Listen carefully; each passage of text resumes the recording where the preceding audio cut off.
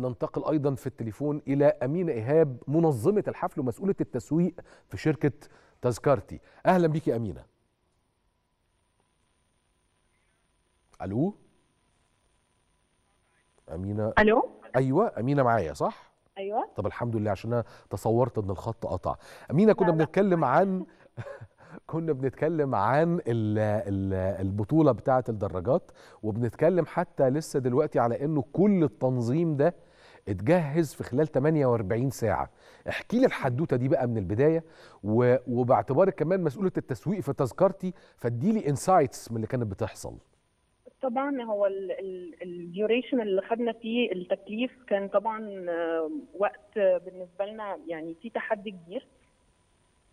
فكنا بنشتغل بأسلوب إن إحنا عايزين نطلع أحسن حاجة عشان البلد تطلع قدام العالم في بطولة خاصة برياضة كمان يعني في مصر مش مشهورة طبعا زي الكورة والهاندبول تطلع. بالمنظر ده حلو جدا طيب ال... ا- ا- أنتوا أنتوا وانتوا بتجهزوا أنتوا عرفتوا من قبلها بأكتر من 48 ساعة شوية صح كده بالظبط وبدأتوا. تشتغلوا على طول بالظبط على طول طيب البطوله 48 ساعة متواصل. البطولة هيحضرها جماهير من مشجعين النوع ده من الرياضة طبعا المشجعين ال- غير متاح إن يحضر الجماهير في.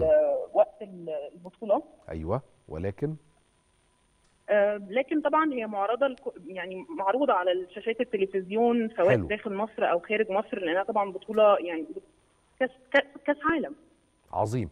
فإحنا هنقدر نتابعها عن طريق شاشات التلفزيون. كل بالظبط، تفاصيل بالظبط. البطولة هنقدر نتفرج عليها. مفيش حاجة. هتفوتنا يعني. كاملة على التلفزيونات. مفيش حاجة هتفوتنا خالص؟ لا لا خالص خالص. طيب، كل الماتشات كويس ب- خالص. بكل راوند بكل حاجة. كويس خالص. توقعاتكم عموما يا أمينة للنوع ده من البطولات تحديدا بطولات الدراجات بتعتقدوا إنه ده ممكن يشجع أكتر على النوع ده من الرياضة في مصر يخلق لها جماهير كبيرة؟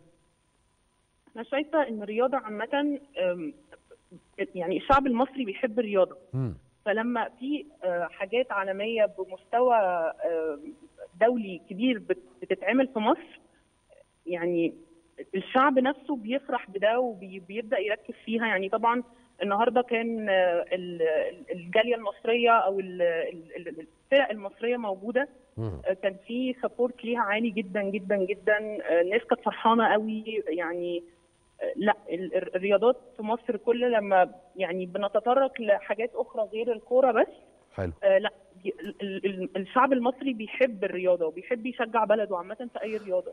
طيب إحنا في 21 بدأنا نستضيف بطولات عالمية أكتر من مرة استضفنا أحداث عالمية رياضية.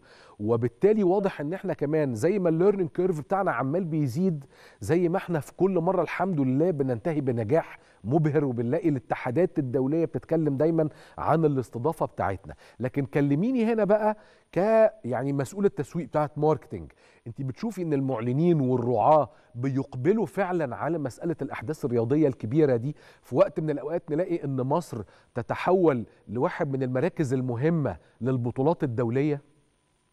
طبعا هو الإقبال ما بيكونش من بس من مصر الإقبال بيبقى عالمي كمان. حلو. دايما بيبقى فيه آه، تصارع وفي ناس عايزة تبقى آه، اللوجو بتاعهم محطوط آه، في في البطولة كلها فلا بيبقى في آه، في تصارع فعلا في في رغبتهم في إن هم يكونوا يظهروا.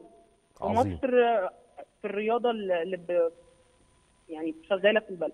كويس خالص. أشكرك جدا جدا جدا يا أمينة. ألف شكر شكرا ليك.